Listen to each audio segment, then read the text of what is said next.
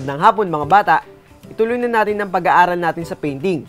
Ngayong linggo, pag-aaralan naman natin ang mga paraan na pwede natin gawin sa tuwing tayo ay magpipinta gamit ang acrylic paint.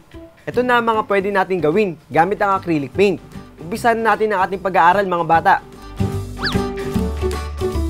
Maraming paraan ang pwede natin gawin habang tayo ay nagpipinta gamit ang acrylic paint. Sa mga paraan na ito, mas napapaganda at nagkakaroon ng effect ang ating painting. Dry brush.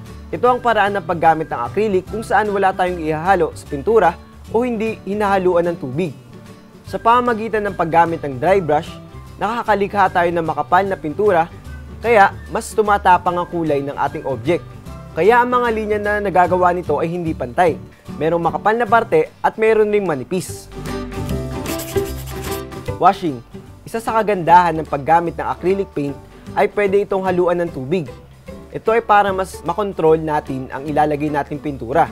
Mapapansin natin sa paggamit ng washing technique, mas nagiging pantay at manipis ang nagagawa ng stroke ng pintura.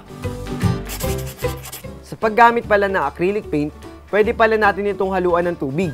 Pero ito ay depende kung anong approach ang gusto nating gawin sa painting. Gusto niyo pa bang madagdagan ang kaalaman nyo sa pagpipinta? Kung ganun, abangan niyo ulit ako sa susunod dahil hindi pa dyan nagtatapos ang ating pag-aaral. Samahan niyo ulit ako upang sanayin natin kakain sa pagguhit dahil tayo mga batang artistic.